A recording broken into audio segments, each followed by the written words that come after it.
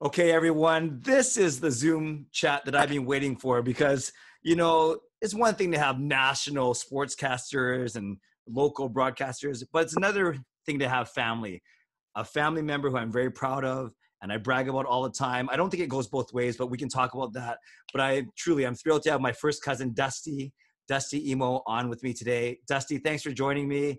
I know, I know you even do it even if we weren't family, but I appreciate you coming on. No, it's I, I felt bad I couldn't do the last time, but uh, yeah, no, well, I do it anytime for you.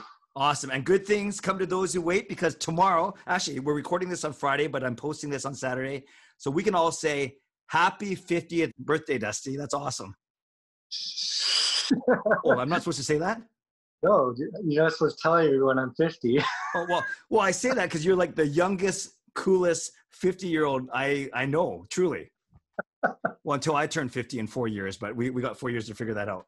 uh, no and, and, ironically or, or fittingly, the last time we chatted was a year ago, just before you went to the KHL to, to embark on a coaching career there. So why don't we start there, Dusty? I saw a tweet which inspired me to get connect back with you, loop back with you, and, and reschedule this chat.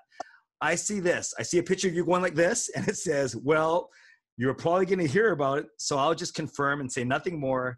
I am not going back to Kunlun Red Star of the KHL. Anyone need a goalie coach? Explain, cousin. Well, like I said in the tweet, you know, I I was just gonna tell people that I I'm not going back, and I was gonna leave it at that. And even though your family, Clay, I'm gonna leave it at leave it at that for now. Um, I had a great time. I met some awesome people. The two goalies I worked with in Kunlun, Jeremy Smith and Simon Hrubec, were just the best people to work for and, and, and help out. Turned into great friends actually, and um, I met uh, the coaching staff was great. Uh, in particular, Steve Kasper and I became like real good buddies. So I made a real close friend in that. Uh, the travel, although it was absolutely ridiculous, uh, I had a lot of fun adventures. So, you know, I, I don't re- regret any of it. Um, people are, you know, probably going to ask down the stretch and, you know, uh, maybe we'll talk about it at another time. But for now, uh, I'm unemployed. and uh, and uh, I'm on the horn trying to trying to find somewhere to go. So when you say when you end off that tweet with anyone need a goalie coach, you're being serious. Uh, yeah, well, yeah. So they, yeah, yeah, really go into the whole thing as to you know what's going on with Kunlun and stuff, but sure. uh, um, none of us are going back. Uh, okay. Uh, staff, um, and um, yeah, so we're basically all kind of in the same boat right now. Uh, you know, we're all at different points in our careers. Um, I'm hopeful and that uh, for myself and you know selfishly that I, I'll be fine and I'll find somewhere to work. But it is a bit different right now with COVID and and everything that's happened. There's some challenges, and uh, you know, but we'll see. You know, we'll we'll, we'll see uh, what comes up. You know, it's it's it's uh, always scary when you don't know what's coming next, but it's kind of exciting. No, for sure. And don't worry, I'm not going to get anyone in trouble, especially family. So we will wait till uh, the news breaks properly. Uh, but I do know of a, a team that's going to start playing in about a year and a half. That's two hours south from us. Maybe they might need a goalie coach. but don't worry, uh, you don't have to say anything. I don't want you to get in any more trouble. Okay, so no, no. I want. I would take that job. That yeah. that's the one job. Uh, I love. I like going over to the K. And you know what? Um, you know, I'll have an agent over there uh, try to uh, open up some doors for me uh, in in the K because I enjoyed that experience, and I don't think I was done over there. I think I wanted to continue that experience. But having said that, if the the neighbors just below us uh, wanted uh, me, I'd probably take that one. Awesome. So let's talk about some of your your positive experiences from the past year. Is Kunlun the only China-based team in the K? Yeah. So already you're you're already not I want to say disadvantaged, but that's you hence your reference to all the travel that you guys were doing or did. Yeah, no, it, it, the whole thing running that that that team under the those kinds of situations and scenarios that they had to overcome as an organization was very difficult. Yeah. Were you guys good? What's that? How'd you guys do? Uh, we we were like right in the playoff mix to that last game actually. Um, so yeah, we we beat almost I think every team in the league. Yeah. Uh, so we could win at any given night. Our goalies uh, were unreal for this season, so that helped uh, helped the team's chances. But we had the whole team's North American, right? Right. Yes, I was gonna I was gonna ask you about that uh, before I do that, and I won't make you rehash everything. But like many of the leagues, it it shut down pretty quick, and I, I heard you on a couple other podcasts explaining just how crazy it was for you to get out of there. You basically didn't go home, go back to your home base for a few weeks. Is that correct? Yeah, it was no, it was actually over a month. Oh, gee. Did you so get all your? Never did go back. My my stuff is still there. You want me to go get it for you or what? I don't know. We'll, we'll see if that ever shows up at my doorstep. wow. Wow. Okay, let's you mentioned that all your players were North American and I know I looked at the roster a few times. There are some ex Canucks on there. There's some local guys like Gilbert Brule. So uh, name maybe just give a you don't have to go through the whole roster, right? Maybe name a few of the guys that maybe people watching this channel would recognize the names of. Well, it's kind of funny because we had uh, in all the world, you know, you got a team in Beijing in the KHL, and we got, I think, three guys from Maple Ridge. That's crazy. Yeah, we had uh, Garet Hunt, who was uh, a Giants. He played for the Vancouver Giants way back in the day. Little fighter.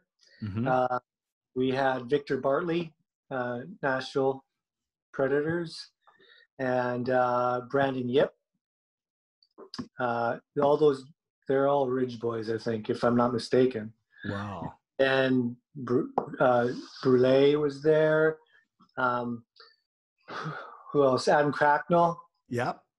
I think he didn't he do a stint in Van? Yep, like, he a, yep, he did. Very, but he's a he's been around a lot of places. Actually, he's back in Edmonton. He he was going to sign back with Kunlun, but uh, chose to go to Edmonton back for his kind of final hurrah, you know. Huh. I saw, wasn't Hunter Shinkaruk on your roster as well? Uh, yep. Wow. He so, came later on in the season. Same with uh, Smith Pelly. Oh, Devante Smith Pelly. Wow. Yeah, they they came later in the year. Um, and uh, just trying to think who else you might know. Like it was uh, the whole team is North American, you know, NHL American leaguers kind of thing. Wow, wow, that's uh, and then to to connect it with the whole Vancouver Canucks scene, did you end up playing? I guess you end up playing against Vasily Podkolzin's team, I presume. Probably. Yeah, yeah, but I'm not going to make you go through each one. And then, do you remember? Do you remember playing against Nikita Tryamkin? Uh, yeah, yeah. Yeah. Well, I'm, was, I'm, yeah, I will make you go through your whole. I was when you sent me that list of what you were going to ask me stuff. I was like, I don't even know who half these guys are, but you can ask away. that, that that's fine. um, what would you say the biggest?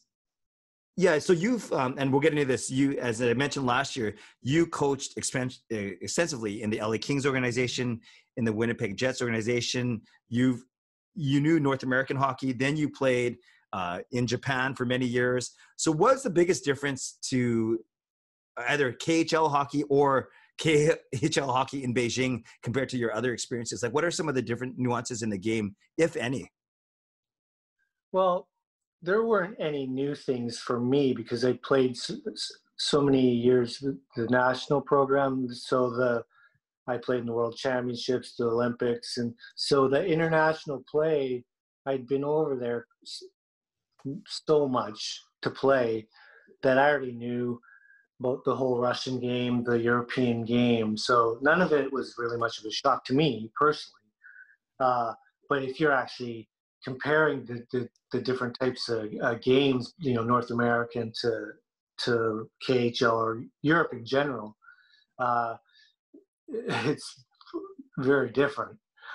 I, I will say this though, the gap in, in the difference has gotten smaller because of the rule changes, mm. because of the diversity of the leagues, and there's so many Europeans in the NHL anyway. So it's like even if it's a North American game, there's all kinds of European flavor in the North American game, right?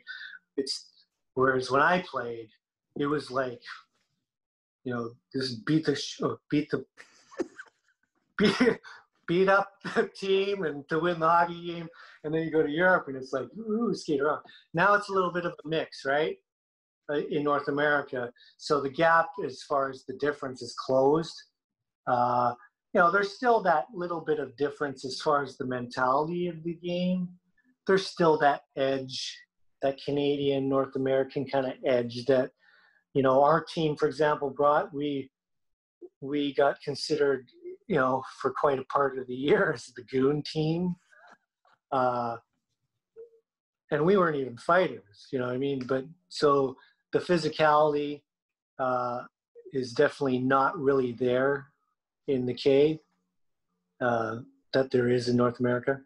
Yeah, no, great question, uh, great answer, Dusty. And the the teams that do really well in the K are they because they're simply the most skilled, or do they have one or two superstars, or what makes a really good team in the K, at least from what you saw?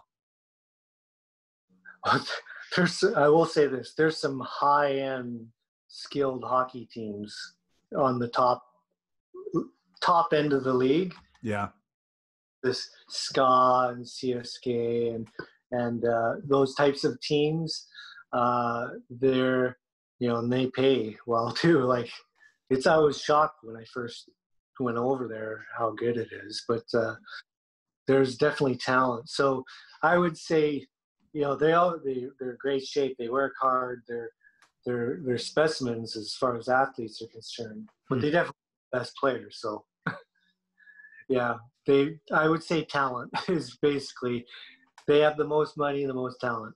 Yeah. So it is uh I'm sure do teams operate under a, a salary cap and everything as well or is it less rigid as say maybe the NHL? Less rigid.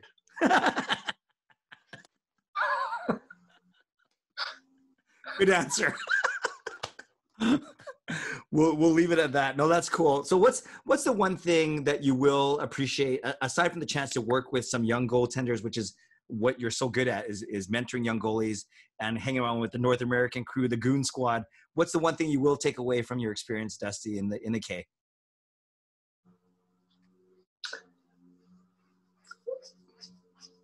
Just learning about you know being open to all kinds of different you know i played over in Japan, Europe, and everything, but it'd been many years. Yeah.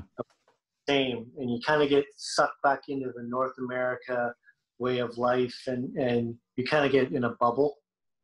And when I went and left the NHL and left LA, I I'm happy I did that because and what I you asked to answer your question but what I take from it is uh, and learn to I learned to appreciate everything else that's out there and the different types of people and and uh, I, I, will take that more than anything because like I told you I met great people I, all these different things but in general to answer your question it was the fact that there's so much out there in, in the world to explore and I'm very appreciative of that.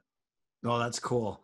Uh, no, I know you've always been very humble, very grateful that way. And the reason why I asked you about Podkolzin and, and Tryamkin, and then I realized how stupid that was because you're not like a Vancouver Canucks goalie coach. Sure, you grew up in Vancouver, but it's not like I expect you to know all of our players and our draft picks. You like you got other things to worry about. But I do know that Podkolzin does play for SKA St. Petersburg, so I presume that was the that's the good team, or at least one of them.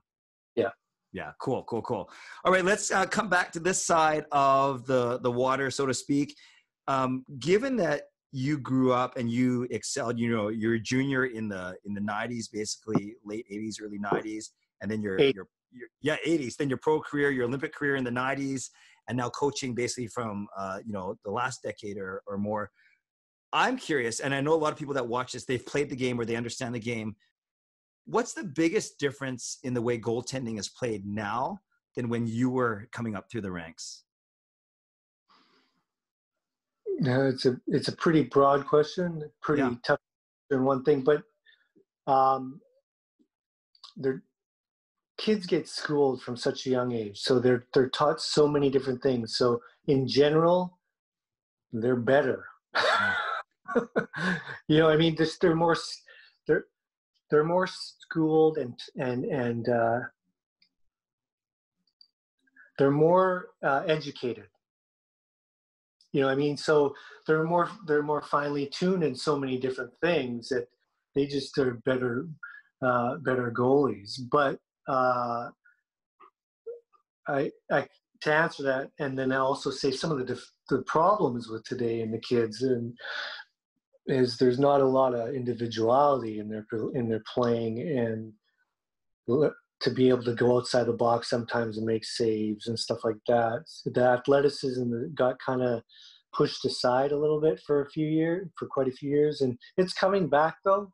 Mm-hmm. I think coaches like myself and there's other coaches out there, and they're also the kind of the balance, the, the scale tips back and forth between scores and goalies, and it's like uh, the goalies get so good, and then the shooters figure them out. And because you know, for years the the goalies started do playing this butterfly drop and block style, and they're huge, and shooters couldn't figure them out. And goals against went like this, and then shooters started figuring out these guys, and that they're not making saves; they're just you know blocking area, and they started figuring that out and then goalies started having to use their feet more and move around more and be better. So it kind of goes like this, right? Yeah. Right. A lot more athletic goalies coming into the mix, but uh, the difference between when I played and when they played is just they have more tools in the toolbox, you know. Yeah. Yeah, yeah, no, I hear you. And I, as I look at the nice um, jerseys behind you, and we won't tell all the stories that we told uh, last year. I'm going to link to that that uh, that interview, that lengthy interview we did last year, where you to- told some really cool stories about the Olympics. And but that is yours and Jonah's jerseys from that night, correct? That there, yeah. That's pretty awesome. Yeah. So uh, many of you guys know the story already. Dusty uh, dressed as a backup for his son Jonah, who started and uh, I will I will share the link to, those stories down below in the but um, in the uh, description. But that yeah, that's a really really nice. You were the seventy. Yeah, that's my number my whole career. Yeah, because that's the year you're born. That's no. Everybody thinks that's why.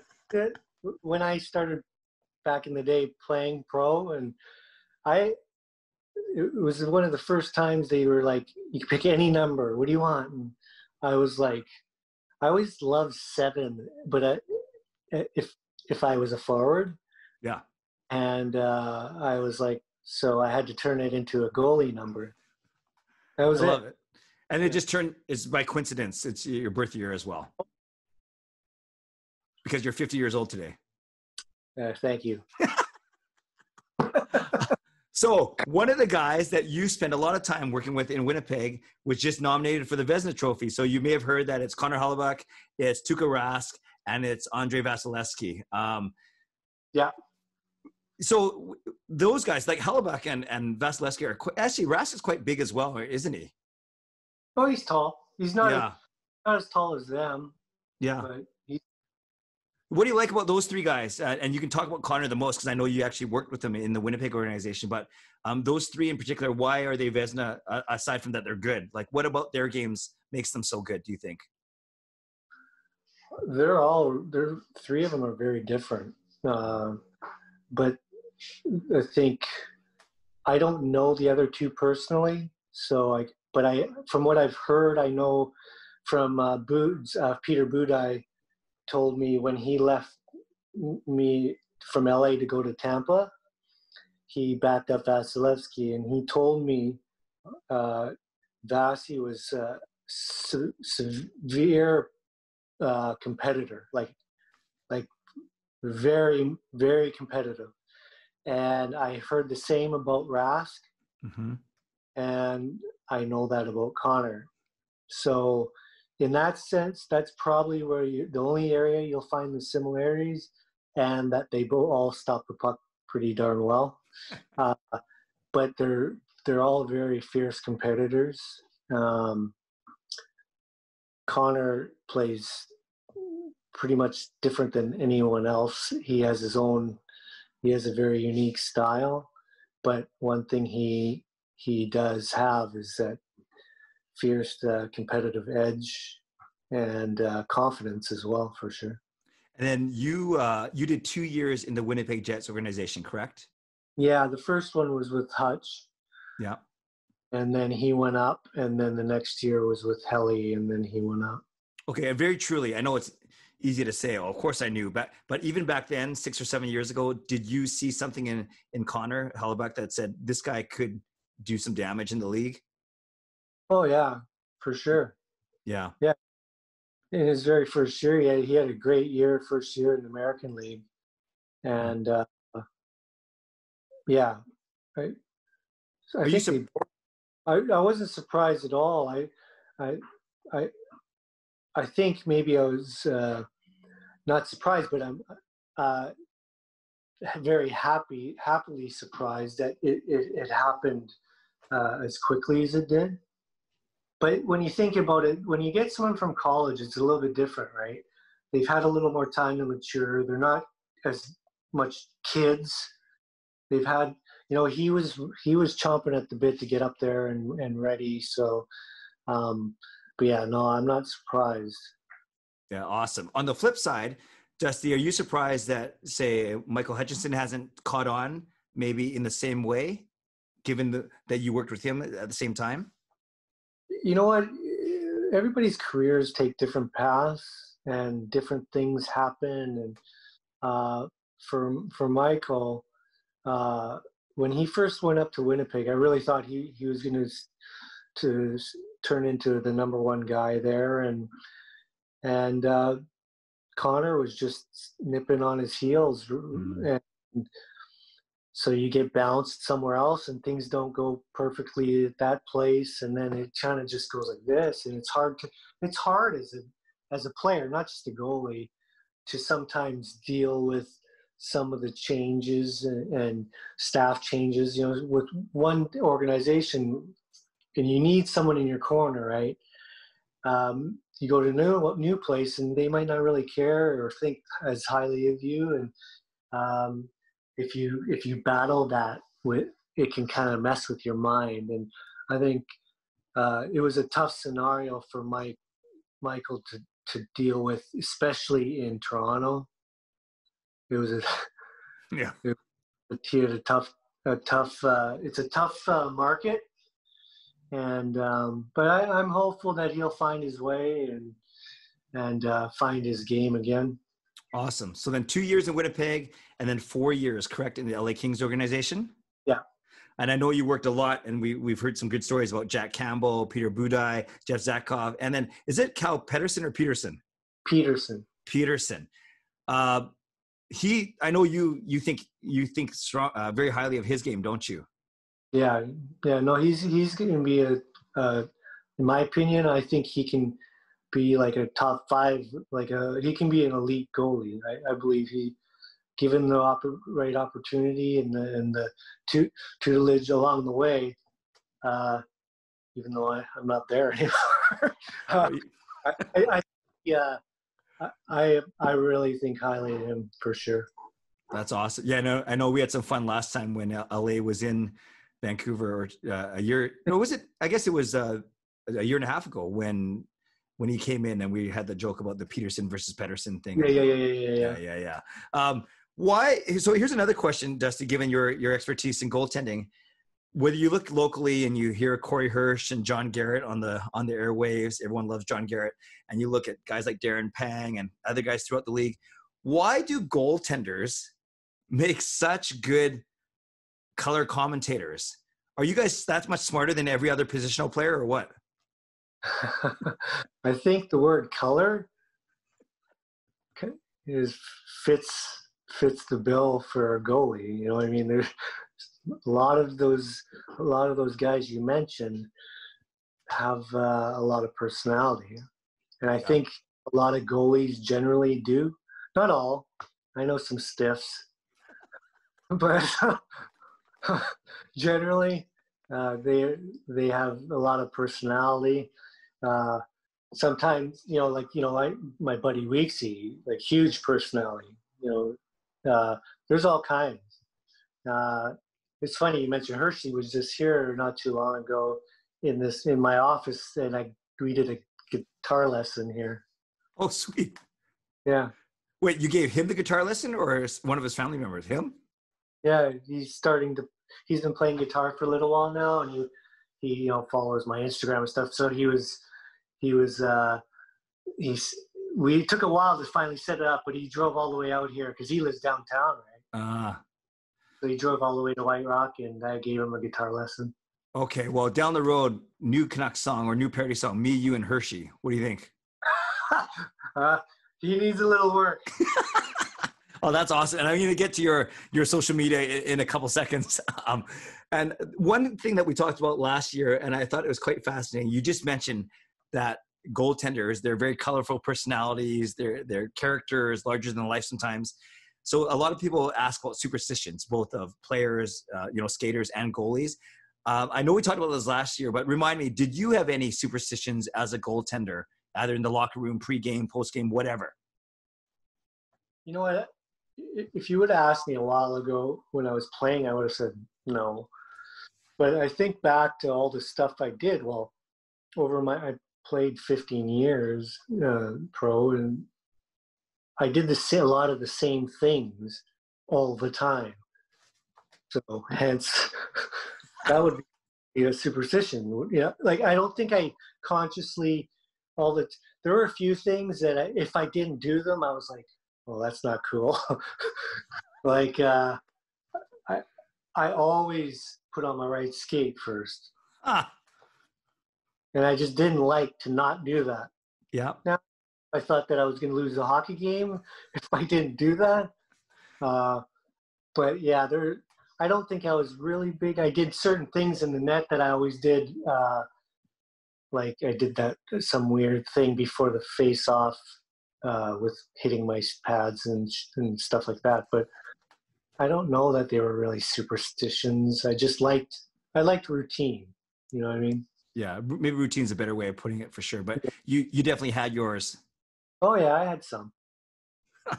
What's the stick thing like uh, with your pads? Just hitting them in a certain order? Uh, your people that watched a lot of me would probably know. I, I can't even really imitate it until I'm on the ice. It's weird. I can't.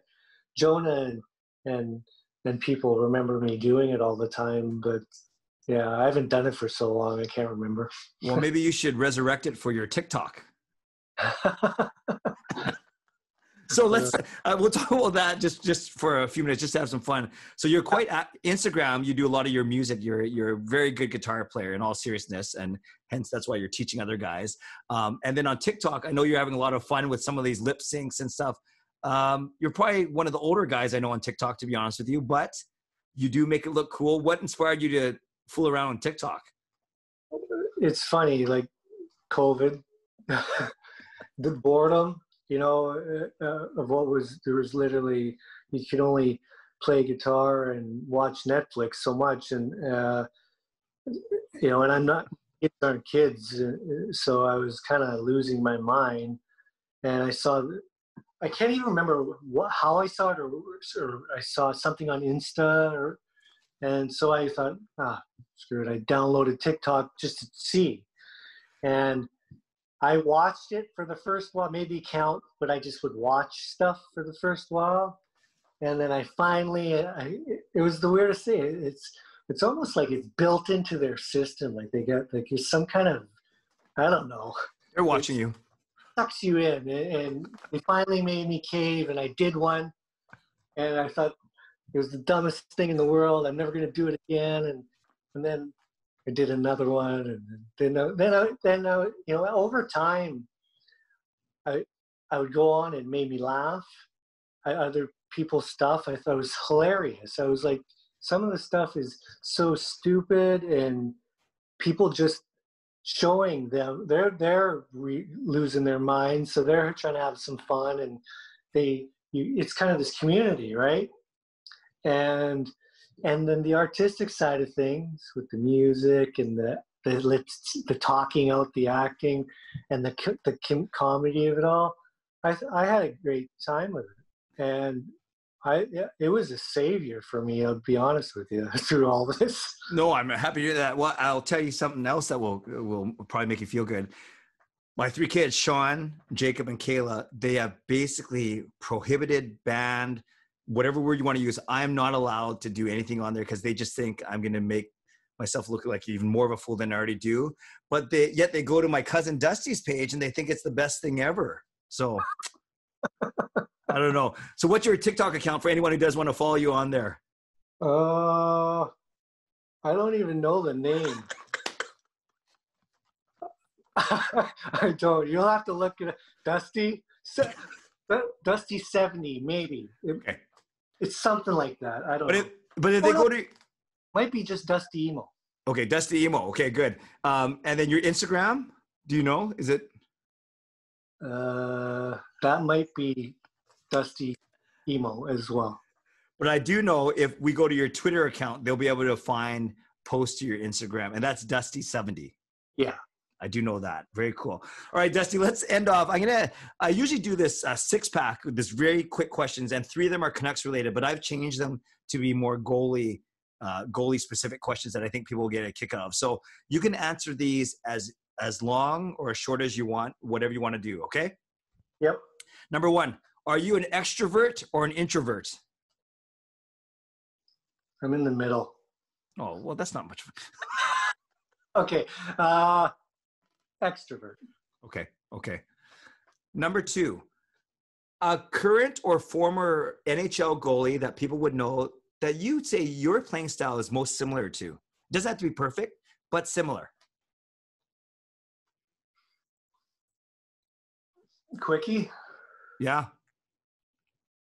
maybe kinda i don't yeah yeah tell us why because i used to love to just dive around and make days and quickies yeah, unbelievable at doing that you know very acrobatic athletic yes, I, I look alike or but that that similarity i guess maybe yeah i do tell everyone you are the most athletic quickest goalie i've ever seen but how tall how and how big are you right now like five. Now, well, I was five eight. Now I'm about five six. Okay, well, you're, you're my height. So, but you played at five eight, one what?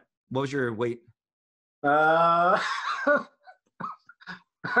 one fifty. Wow. So there aren't a lot of five eight, one fifty goalies right now, are there? no. All right, number three: Netflix or Disney Plus? Netflix. What are you watching right now? Anything cool? G uh, Giri/Haji or something. Uh, it's two Japanese words, duty and um, something. It's it's a mix, half in Tokyo, half in London.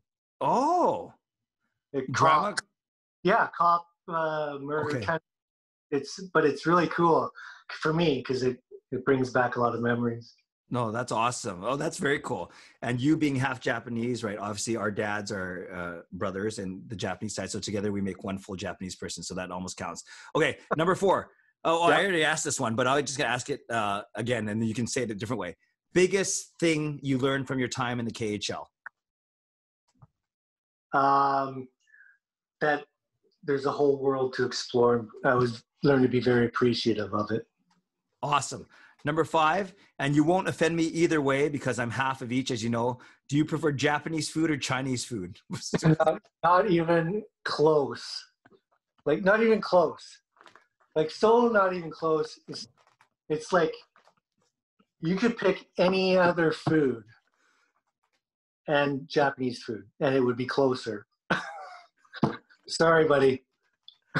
wait, wait, wait, wait. Which one are you saying that you like? I dislike Chinese food. Yo, me too. So much. I, especially, and no, I'm not saying disrespectfully over there, but real Chinese food. Yeah. Oh.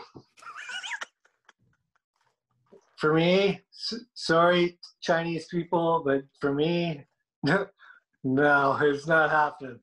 You know what's so funny? I asked this is such a stupid question, but I ask it to all my guests because then I make the whole joke of, you know, obviously my dad's Japanese, mom's Chinese, and you you won't offend me either way. As I asked you that, knowing that you're half Japanese, but then I completely forgot that you just spent the last year of your life in in China. So, yet Chinese food, no. Okay. And here's the last one. Your favorite goalie of all time? Grant Fuhr. Tell us why.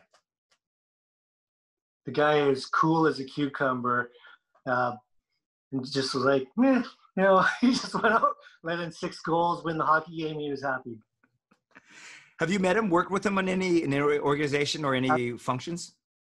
I've never worked with him. Uh, it's kind of weird because I've met so many people along the way, but of all people that I probably would like to meet, I've never met him. Uh, uh, but yeah, and he had a wicked glove hand. Yeah, and not he very was, big. Like he was clo- closer more when I was actually getting older and closer to playing. Like when I was little, little, uh, it was cl- more like guys like the Cesare Maniago and then Richard Brodeur because they were Canucks goalies, right? Curt Ridley. Yeah. But I was, but once I became older, Grant Fuhr. And then Ranford came after Fuhr, right? He replaced him. He was after, yeah. Yeah, but he was the next guy, basically, correct? Yeah, won the cup once guys started to disperse, right. and then Ranford came in. Yeah. Right, and then you have a really good working relationship with Bill Ranford. Yeah, long, long time. We've known each other since I was like 16 years old, too. So, because we skated together in the summers when, right from when I, because I played in the same junior team he did. Right. Very cool. Well, Dusty, thank you for taking time on your birthday eve. But as people watch this, um, they can all greet you uh, happy 50th. Oh, I said it again. A happy birthday. and I truly, uh, yeah, family notwithstanding, I truly hope everything works out as you wind down uh, that chapter of your career and look forward to the next one. Um, yeah, and we'll wait to hear uh, more official stuff, I guess, as it comes out from with respect to that.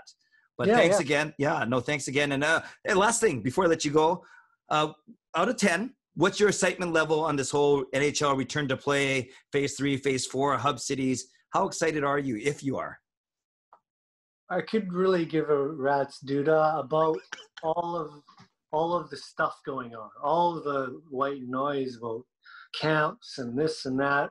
But once it's on the television, I'm like any any hockey fan. I love hockey. I, I, it'll be the one thing that'll be cool is there's gonna be hockey on all the time. Yeah. So that's what I'm excited about. I love. I, I still love the game, so I'm excited to see the game again being played. All this other stuff and it's it's draining. The news is draining for me, but I'm excited to see the league back in up and running for sure. Awesome. Well, we're happy to have you back home and uh, thanks for joining us. And thank you for being the first person to use the term "rats duda" on my Zoom chats. Oh, gotta be clean. Like I, I gotta be clean on your channel, right? Like, because it's pasture. Like, what am I gonna do? As soon as I hit the stop record, you can say whatever you want. Okay, thanks a lot, Dusty. I appreciate it. And happy birthday once again. All right, buddy.